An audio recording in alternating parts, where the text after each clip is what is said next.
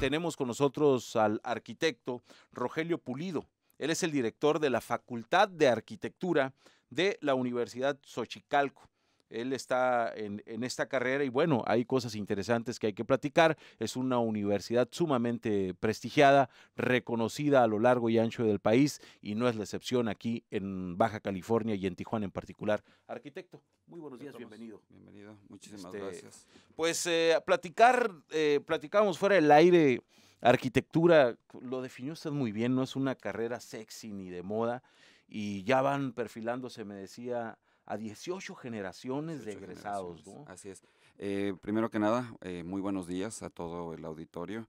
Efectivamente, eh, la carrera de arquitectura es una de las tradicionales. No pudiéramos entender algunas de, de las etapas más eh, importantes en la historia de la humanidad, como Roma, uh -huh. este, eh, Egipto, uh -huh. sin, sin, la cuestión de la arquitectura. ¿no? Entonces estamos hablando de que afortunadamente para los que nos dedicamos a la arquitectura, pues chamba siempre ha habido, sí. ¿no? Y, y, y, existirá mientras obviamente el ser humano requiera un espacio donde habitar, donde trabajar, este, donde llevar a, a, a a cabo sus actividades.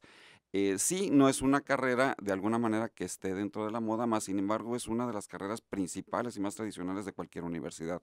Eh, en Universidad Xochicalco, aparte, le estamos dando el plus porque tenemos la especialidad, el, el plan de estudios se ha diseñado uh -huh. con una cuestión, eh, por un lado, muy tradicional, pero por otra cuestión que está muy de moda, que es la arquitectura sustentable. Ajá. Es decir, que el, eh, la arquitectura sea amigable con su entorno, que dañe lo menos posible eh, el lugar donde, donde está situado el edificio y que además aproveche al máximo sus recursos. ¿no? Es, es, ese sería básicamente el punto importante de, del egresado y, y, el sello que trae Universidad Xochicalco en arquitectura.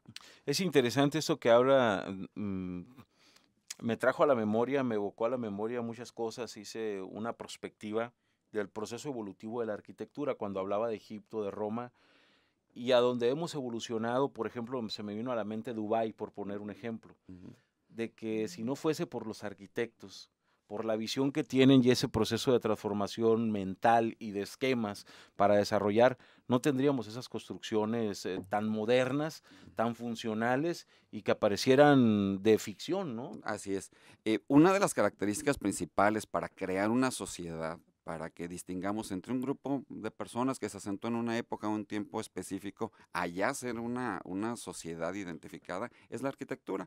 La otra sería eh, el idioma. Pero uh -huh. en este caso eh, le implica tanto, un sello tan particular en el tiempo histórico, sí. el hecho de, los, de las edificaciones, como tú lo dices, ahorita realmente eh, la ciudad que vemos eh, como la quinta esencia del, del, del posmodernismo, ¿sí? de vencer el ser humano, vencer a su medio ambiente, sería Dubái donde obviamente no se trata a lo mejor de una adaptación a la zona, sino al revés, Así que el entorno se adapte a los edificios. Yo creo que en unos años tendrán sus dificultades, dado que es demasiado este, arriesgado esto de, de, ir en contra de la naturaleza. Más sin embargo, obviamente, ahorita es un regocijo para los arquitectos. Claro, o sea. pero, pero aquí lo interesante en donde entra Universidad Xochicalco es que ya con, con esta visión de, de, de, este esquema sustentable en la arquitectura, mm. les permite tener una visión a, esta, a estos egresados de qué hacer y qué no hacer en base a lo que te ofrece la naturaleza.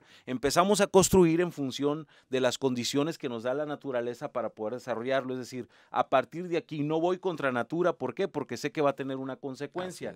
Y yo creo que esa visión que tiene la Universidad Xochicalco es lo que la hace diferente, la hace distinta y la convierte en una excelente opción en materia de arquitectura, ¿no? Sí, mira, nuestros egresados obviamente van a tener este contacto con sus clientes y a lo mejor suena muy poético esta cuestión de la naturaleza, pero lo que sí estamos seguros es que cualquier cliente te va a pedir que el recibo de la luz sea más barato. Entonces, totalmente, y totalmente. que yo pueda gastar de alguna manera menos y tenga mejor confort dentro de mi casa. Entonces, uh -huh. es jugar un poquito con las cuestiones muy tradicionales de la arquitectura, la orientación, los materiales, las, las luz, los asoleamientos, uh -huh. pero también obviamente incorporarle los aspectos de la tecnología que puedan Exacto. hacer que una, que una edificación sea sea, insisto, lo más confortable para su habitante. Y, me recuerda esto, eh, arquitecto, está muy sabrosa la plática, ¿no? Porque la arquitectura de pronto descubrimos que es una parte crucial en el desarrollo de la humanidad. Distinguimos la historia universal por las etapas arquitectónicas, son un parámetro, un referente súper importante.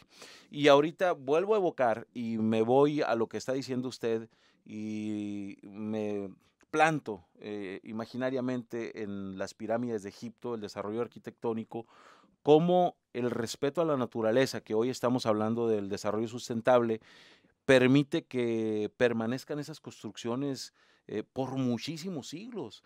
Quiere decir que el hombre tenía una visión, eh, hablando de arquitectura, muy clara de qué hacer y qué no hacer en la naturaleza para poder perdurar, ¿no? Eh, al paso de los siglos, como ha pasado obviamente con la cultura maya también, ¿no? O sea, es una cuestión de arquitectura muy fina muy fina y eso es interesante. Sí, eh, recordemos que como tal en aquellas épocas el arquitecto no era quizás el profesionista que vemos ahora, ¿no? Con su portafolio, con su reglate, con su este laptop, sino eh, era una, un personaje muy importante de cada una de estas este, civilizaciones, inclusive siendo en muchos de los casos una especie como de mago, una especie como de, de líder en las cuestiones hasta religiosas. Por eso estas edificaciones tan importantes que acabas de mencionar en caso de Egipto, en el caso de las mayas, no solo es en sí el conocimiento basado en la construcción, que es algo muy importante, sino también la combinación, la orientación, el, estar ubicada con las estrellas, el estar ubicado con, los, con las épocas en las el, el, el ciclo del movimiento de la Tierra. Entonces es algo impresionante. Pero va con lo que usted decía,